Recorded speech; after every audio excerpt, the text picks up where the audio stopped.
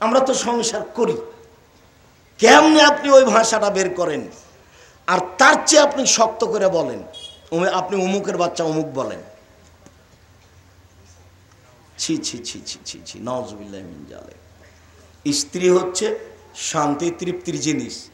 স্ত্রী হচ্ছে আদরের জিনিস। স্ত্রী হচ্ছে শান্তি তৃপ্তির জিনিস। স্ত্রী হচ্ছে আদরের জিনিস। স্ত্রী হচ্ছে ঢেকে রাখা জিনিস। স্ত্রী হচ্ছে ঘেরে রাখা জিনিস। স্ত্রী হচ্ছে দামি সম্পদ। ওকে ঢেকে রাখতে হয়। ওকে ঘেরে রাখতে হয়। ওরা এত আদরের, ওরা এত আদরের। ওরা হচ্ছে বগুড়া সোনাতলা হাটের আদরের মালসা। ওদের আদর করতে হয়, ওদের ঘেরে রাখতে হয়, ওদের ঢেকে রাখতে হয়।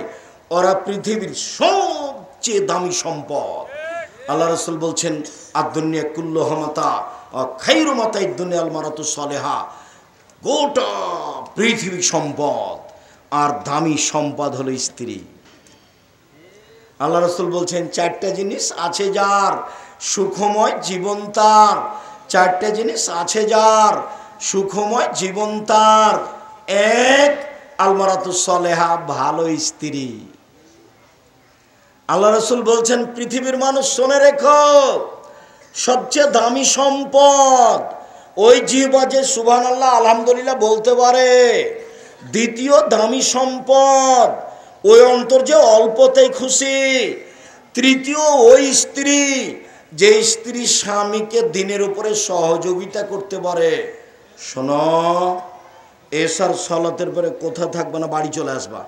আমি তোমার জন্য খানা পানি নিয়ে বসে থাকি। দোকানে বসে আড্ডা পিটবা না। কারও বদনাম করবা না। কোনো ল্যাংটা মেয়েকে দেখো না। আমি তোমার জন্য প্রস্তুত রয়েছি। দেখো, আমি গ্রামের মেয়ে। তোমার ভালোবাসায় তোমার দুই পায়ের নিচে সেবা করে জীবন কাটিয়ে দিতে চাই। আমি বলছি, আমার পক্ষ থেকে কোনো প্রকার আপত্তি থাকিবে না। কোনো প্রকার প্রতিবাদও থাকিবে না। যাহাই খাওয়াইবেন তাহাই খাইব। যাহাই পরাবেন তাহাই পরিব, আমি কখনো অভিমান করিব না। আপনার কাপড় মোটা হলেও বলব না, কাপড়টা মোটা, চিকন হলেও বলব না, কাপড়টা চিকন, যেভাবে আপনি খুশি, সেভাবে আমি খুশি। তাহলে এবার সংসার কি হবে? সুন্দর হবে। আর যদি অভিমান থাকে, অভিমান মানে ঈদের দিন একটা ভালো শাড়ি দিবা। ঈদের দিনে রোজার ঈদে একটা ভালো শাড়ি দিবা। তা আপনি দিতে পারেননি, এটা হলো অভিমান। আবার কুরবানিতে চেয়েছে সেটা দিতে পারেননি। তখন কুরবানির পরে বলছে, তুমি আমার কোনো কথাই শোনো না। এই যে অভিমান খুব খারাপ। সে শয়তানকে বলাবে, দেখছিস দেখছিস তোকে কোনোদিন দেয় না, দেখছিস তোকে কোনোদিন দেয় না। শয়তানকে বলাই আর প্রতিবাদ হ্যাঁ তুমি আমার মাকে এভাবে বললে কেন? তুমি আমার মাকে এভাবে বললে কেন? তুমি আমার সাথে এভাবে আচরণ করে দেখালে, এটা হলো প্রতিবাদ। একবার যদি আপনার বউ প্রতিবাদ করে, তাহলে বারবার শয়তানাকে বলবে, এই যে, দেখলি? তোর স্বামী এই কথা শুনলো না। বল বল বল, কিছু বল। এই যে, তোর মাকে গালি দিল। কিছু বল। এটা কে করাচ্ছে? শয়তান করাচ্ছে। যার জন্য স্ত্রী যদি কোনো অভিমান না করে, প্রতিবাদ না করে, সংসার কি হবে? সুন্দর হবে। কখনো আপনি কটু কথা বলবেন না। কোনো সময় বলবেন না যে তোমার ঠোঁটটা মোটা। একবার ঠোঁট মোটা বললে দশ বছর ভালোবাসবে না। কোনো সময় বলবেন না যে তোমার রংটা কালো, এভাবে বলবেন না। খালি প্রশংসা করবেন, বুদ্ধি কম, প্রশংসা প্রিয়। তোমার মতো কোনো মেয়ে দেখি না। তোমার চাল চলন সবচেয়ে ভালো, সারা রাত পাটিপে দিব। আল্লাহ নবী বলছেন যে বুদ্ধি কম। না কেস তাকলি নদী নিন। আপনি গালি দিয়েন না, প্রশংসা করেন সংসার একবারে খুব সুন্দর হবে। শান্তি পাবেন, তৃপ্তি পাবেন। আপনি বুঝতে পারেননি যে ও কী জিনিস। যার কারণে মেরেছেন, যার কারণে গালি দিয়েছেন। শেষ পর্যন্ত আপনি শান্তি পাননি। শান্তি, তৃপ্তি নিতে হলে প্রশংসা করতে হবে বেশি, গালি দিতে হবে না। তাহলে সংসার সুন্দর হয়ে যাবে। চার কখনো মুখের উপরে মারবেন না। পাঁচ, নিজের বাড়ি ছাড়া কোথাও যেতে দিবেন না। এবার নিজের বাড়ি ছাড়া কোথাও যেতে দিবেন না। জরুরি দুর্ঘটনা ছাড়া খালার বাড়ি যেতে পাবে না, ফুফুর বাড়ি যেতে পাবে না, মায়ের বাড়ি যেতে পাবে না, জরুরি প্রয়োজন ছাড়া বাড়ির বাইরে যেতে পাবে না। পাঁচটা। এক, যে মানের খাচ্ছেন সে মানের খাওয়াবেন। দুই, যে মানের পড়ছেন সে মানের পড়াবেন তিন, কটু কথা বলবেন না। চার, মুখের উপরে পারবেন না। নিজ, নিজের বাড়ি পাঁচ, নিজের বাড়ি ছাড়া কোথাও যেতে দিবেন না। হাট বাজারের তো প্রশ্নই আসে না। ওকে ঘেরে রাখবেন। আল্লাহ রসুল বলছেন আলমার তো আওরা। মহিলা হচ্ছে ঢেকে রাখা জিনিস। মহিলা হচ্ছে ঢেকে রাখা জিনিস ওকে ঢেকে রাখতে হবে। এই ছেলে এই ছেলে, বসো। সম্মানিত দিনই ভাই বোন চলে আসলাম অল্প সময়। ইবাদতের জগতে সবচেয়ে দামি এবাদত সিএম এটা কীভাবে হলো একটু দেখেন তো? ওমামা বাহেলি রাজি আল্লাহ তালাহ বলেন আল্লাহর নবী মুরনিবে আমালিন আল্লাহ নবী আমাকে একটা আমলের কথা বলেন তো আল্লাহ নবী, যাতে আমি জান্নাতে চলে যাব। তখন আল্লাহ রসুল বলছেন ওমামা আল্লাহকে বিশ্বম ফাইনুল্লাহ মিসলালাহ। তুমি শ্যাম পালন করো। এবাদতের জগতে শ্যামের মতো কোনো এবাদত নেই, এটা শ্যাম আর এটা সলাপ সলাপ শ্যামের মতো জিনা। এটা হজ, এটা শ্যাম হজ শ্যামের মতো জিনা পৃথিবীর কোনো এবাদত শ্যামের মতো নয়। আবার অমামা বাহিলে বলছেন আল্লাহর নবী, আমাকে একটা আমলের কথা বলেন তো আল্লাহর নবী, যেটা করলে আমি জান্নাতে চলে যাব। তখন আল্লাহ রসুল বলছেন, ওমামা, আলাইকে বিশ্বম ফাইনুল্লাহ হিদলাহু তুমি শ্যাম পালন করো, ইবাদতের জগতে শ্যামের সমপর্যায়ের কোনো ইবাদত নেই। এটা সলাৎ, এটা শ্যাম। সলাৎ শ্যামের সমপর্যায়ের জিনা। হজ শ্যামের সমপর্যায়ের জিনা। কোরআন তেলাওয়াত শ্যামের সমপর্যায় জিনা। তাসবি তাহালিল শ্যামের সমপর্যায় জিনা। এমন কোনো এবাদত নেই যেটা কার সমপর্যায়ের হতে পারে? শ্যামের সমপর্যায়ের হতে পারে। এই কথা মোহাম্মদ সাল্লাহ আলি সাল্লাম বলেন। আল্লাহ নবী বলেন, জান্নাতের দরজা আটটি আর জাহান্নামের দরজা সাতটি। যেদিন মানুষ জান্নাতে ঢুকবে, তো সলাতের জন্য একটা দরজা আছে। ফেরেস্তার বলবে, আসেন আসেন। যারা সলাত আদায় করেছেন, এই দরজা দিয়ে আসেন। যারা শ্যাম পালন করেছে ফেরেস্তারা বলবে, আসেন আসেন। যারা শ্যাম পালন করেছেন, এই দরজা দিয়ে আসেন। যারা হজ করেছে, আসেন আসেন। যারা হজ করেছেন, এই দরজা দিয়ে আসেন। আল্লাহ নবী বলছেন যে, এ যা দাখেলা আখের মুগলিকা শ্যাম পালনকারীর শেষ ব্যক্তি এই দরজা দিয়ে ঢুকে গেলে এটা ক্লোজ করা হবে, এটা বন্ধ, বাকিগুলো খোলা আছে। মানে হজ পালনকারী সলাতের দরজা দিয়ে ঢুকতে পারে। মানে সলাত আদায়কারী হজের দরজা দিয়ে ঢুকতে পারে। কিন্তু এই দরজা দিয়ে শ্যাম ছাড়া অন্য কোনো এবাদত দিয়ে ঢুকতে পাবে না। ইবাদতের জগতে ভিন্ন ধরনের ইবাদত হলো শ্যাম এর সাথে কোনো মিল নেই।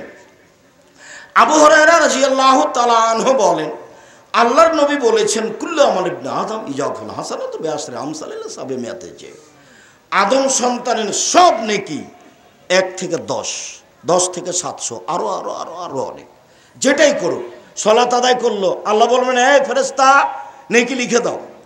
একবারে দশ লিখো, সাতশত লিখো, বাড়াও। কোরআন মাজিদ তেলাওয়াত করল, এই ফেরেস্তা নেকি লিখো নেকি লিখো, দশ লিখো, সাতশত লিখো, বাড়াও। হজ করল, নেকি লিখো, সাতশত করো, বাড়াও বাড়াও, সবটাই। কিন্তু আল্লাহ বলছেন, ইল্লা তবে শ্যাম ফাইনালি শ্যাম আমার ব্যাপার। ওনা আজি যে যেহি আজি জিবেহি প্রতিদান আমি দিব। কি প্রতিদান দিবেন?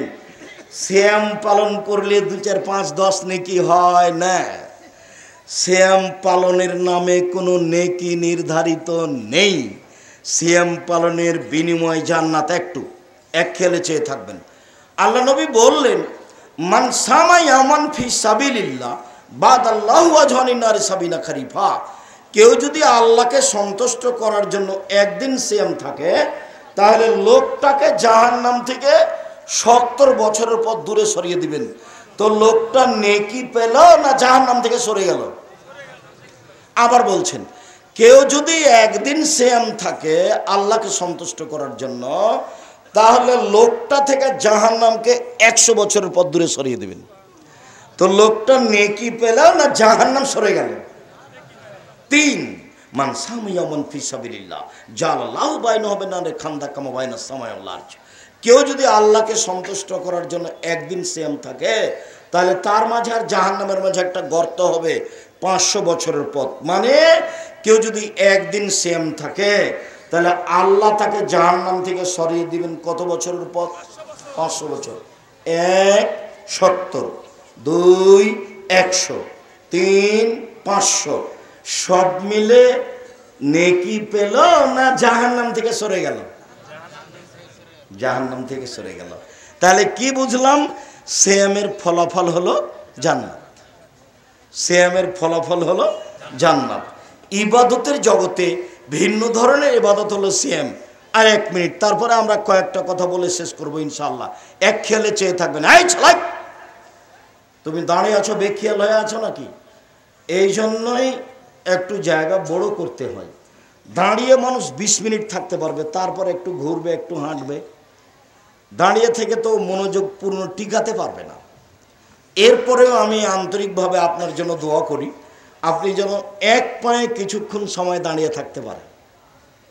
আপনার আমি কিছু না কিছু উপকার করবই করব ইনশাআল্লাহ। সম্মানিত দিনী ভাই বোন চারটে জিনিস বিচারের মাঠে মানুষের জন্য আল্লাহ সাথে কথা বলবে, মানুষের পক্ষে হয়ে। এক, শ্যাম।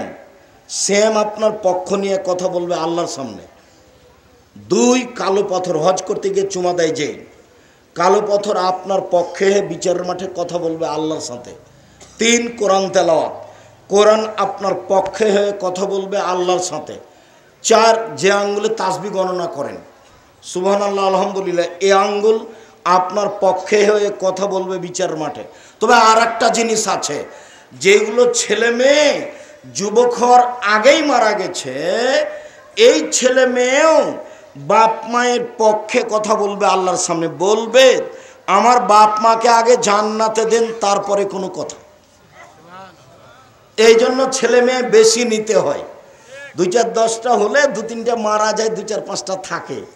তা আপনার ছেলেই মাত্র একটা দুনিয়ার শয়তান, কয়টা হবে আর কয়টা? দুইটা ছেলে মেয়ে কানা আর কচড়া এ তুই বদ কারও কথা মানে না। একটা ছেলে আদর বেশি দিয়েছেন, আর আপনারা ছিলেন দশ ভাই বোন আল্লাহ আপনার মা চলে গেছে পিসতে, আটা পিসতে, রুটি বানাবে। ছেলে কাঁদতে কাঁদতে কতক্ষণ কাঁদলো। তারপরে যখন দুধ দিয়েছে, তখন বাচ্চা বেশ তৃপ্তি সহকারে দুধ খেলো। আর একটা বাচ্চা খালি একটু চিল্লাতে দৌড়িয়ে গিয়ে বলে আব্বু আব্বু আব্বু। সব শেষ। এই যে ক্ষতি হচ্ছে এই জন্যই। বহুল হিসেব, ছেলে মেয়ে বেশি হওয়া ভালো। আবদুল্লাহর বক্তব্য এখানে খুব গুরুত্ব বহন করে। যার কারণে আমি আবদুল্লাহর বক্তব্যগুলো আপনাদেরকে আমি শুনতে বলি। হঠাৎ দেখছি একদিন গাড়ির গায়ে লেখা আছে, আর দাওয়া এল আল্লাহ। আমি বলছি, আব্বু, আর দাওয়া এল আল্লাহ মানে কি? আমি গাড়ির গায়ে লিখছে, দেখা, লিখা দেখছি, আর দাওয়া এল আল্লাহ। তো বলছে, আব্বু আপনাকে আমি তিরিশ বছর যাবৎ বক্তব্য দিতে দেখলাম। আর আমি লন্ডন, আমেরিকা, ফ্রান্স এগুলো সব ঘুরে আসলাম। তো দেখলাম যে ইহুদি খ্রিস্টানেরা বুদ্ধি এবং বিদ্যা বিক্রি করে খায়। পদ্মা সেতু তৈরি করল, ওরা হলো ইঞ্জিনিয়ার আর আমরা হলাম কামলা। তো এটা আমাকে খুব কষ্ট দেয়। তো আমি চিন্তা করলাম, সূচনাতেই ছেলে মেয়ের আকিদে ঠিক করতে হবে। বিদ্যার সূচনা থেকে শুরু করি। তাই আমি চিন্তা ভাবনা করে সারা দেশ জুড়ে মক্তব চালু করব। যেখানে হবে দাওয়াতি কার্যক্রম, যেখানে হবে শিক্ষা কার্যক্রম এই পরিকল্পনা নিয়ে সারা দেশ জুড়ে মক্তব চালু করব এই আশা নিয়ে বই পুস্তক লিখলো, ছাপালো, সিলেবাস তৈরি করল, ইতিমধ্যে সাড়ে তিনশো চারশো মক্তব চালু করল, ইতিমধ্যে আবার শিক্ষক ট্রেনিং চালু করল পঞ্চাশ জন, ষাট জন শিক্ষক ওখানে যাচ্ছে ট্রেনিং নিচ্ছে। যাওয়া ফিরি, আসা ফিরি, খাওয়া ফিরি সিলেবাসের বই পুস্তক ফিরি। তো জীবন বাজি রেখে চেষ্টা চালাচ্ছে, সারা দেশ জুড়ে মক্তব চালু করবে এই মর্মে। আমি তোমাদেরকে তার সাথে পরামর্শ করার জন্য, সাথ দেওয়ার জন্য, তার কিছু বুদ্ধি বিবেচনা তাকে দেওয়ার জন্য আমি তোমাদেরকে আন্তরিকভাবে বলছি। মুরব্বীদের বলছি, আপনারও সন্তান। এই হিসেবে আপনারা একটু দোয়া করবেন। ছেলেটা যেন কাজে সফল হতে পারে।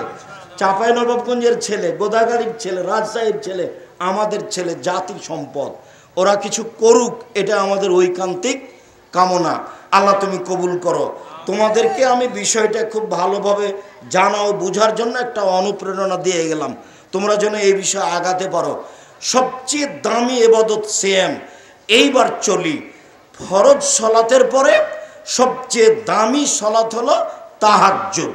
আর নফল সিয়ামের মধ্যে সবচেয়ে দামি নফল সিয়াম হলো মহারম আল্লাহর নবী যখন মদিনাতে আসলেন, দেখলেন ইহুদিরা সিয়াম থাকছে মহারামের দশ তারিখে। তিনি বললেন মাহাজালিয়ম এলেজি তাসুমনহু এই দিনটা কিসের দিন? তোমরা এদিনে শ্যাম থাকছো কেন? তখন ওরা বলছে, আরে, এদিন তো বড় দিন, এদিন বড় দিন। এই দিনে আল্লাহ ফেরাউনকে ডুবিয়ে দিয়েছেন সদল বলে। এই দিনে আল্লাহ মূসাকে বাঁচিয়ে দিয়েছেন সদল বলে। মূসা আল্লাহ শুক্রিয়া আদায়ের জন্য শ্যাম থেকে ছিলেন। তাই আমরা এই দিনে শ্যাম থাকি মহারামের দশ তারিখে। আচ্ছা আচ্ছা শোনো। নাহনো আওলা আহাক্য বে মুসা মিনকুম।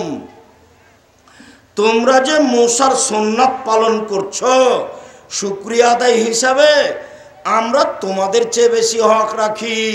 শুক্রিয়া আদায়ের ব্যাপারে। অতবে আমিও শ্যাম থাকলাম। সঙ্গী সাথী, সবাই শ্যাম থাকো। যেমন বললেন, সাহাবি বলে উঠলেন, আল্লাহ সামা একই কথা? আপনি দিনরাত বলছেন, ইহুদেদের বিরোধিতা করতে হবে, খ্রিস্টানের বিরোধিতা করতে হবে। এদিন ওদের বড় দিন, এদিন ওদের বড় দিন, এদিনে শ্যাম থাকা হবে না। তাই এদিন তাদের বড় দিন। শোনো, লাইন বাকাই তো এলা কাবেলিন লাসমান্না আমি যদি সামনে বছর বেঁচে থাকি, তাহলে নয় তারিখও শ্যাম থাকব। নয় তারিখ হবে বিরোধিতা। দশ তারিখ হবে শুক্রিয়া, নয় তারিখ হবে বিরোধিতা, দশ তারিখ হবে শুক্রিয়া। কথা স্পষ্ট বোঝা গেল কি? মনে থাকবে না মনে হয়। মহারামের দশ তারিখের সাথে কারবালার দশ তারিখের কোনো সম্পর্ক নেই। ফাতেমা কান্দিয়া খায়, আজ বুঝি হুসাইন কারবালাতে শহীদ হয়।